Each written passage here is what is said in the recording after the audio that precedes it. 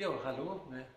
Ich möchte Uli recht herzlich begrüßen in der Fleischerei Gerbel im Futtermarkt. Wir haben heute einen Schweinezellige-Kurs für Anfänger.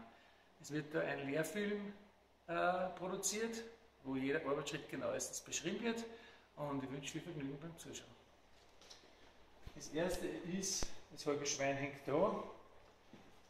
Es wird das Wammerl, also der Bauch, abgetrennt vom Schlögel, das hier ist die Schnitzeln, es wird da obergeschnitten, man sieht da das Filet mit dem Filetkopf, mit dem äh, Schlussknochen, der da äh, sichtbar ist.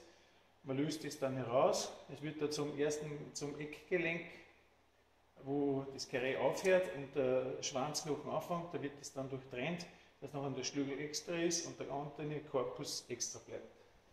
Also wie gesagt, man schneidet den oberen Teil vom Schweinsbauch herunter. Es wird da das Filet mehr oder weniger freigelegt. Also wie gesagt, hier ist das Filet, hier geht der Filetkopf herauf bis in die Höhe, wo man den äh, Schlussknochen sieht. Man schneidet da quer ein, löst das Filet aus, schneidet da entlang des Schlussknochens herunter, bis wie gesagt zum Eckknochen. Das wird hier herausgelöst. Man hat da schön eine Naht. Bis daher, wie gesagt, wo der, wo, das Eck, wo der Eckknochen ist, ist auch das Ende des Schlussknochens, wenn man dann da durchschneidet. Mit einem geraden Schnitt wird das getrennt.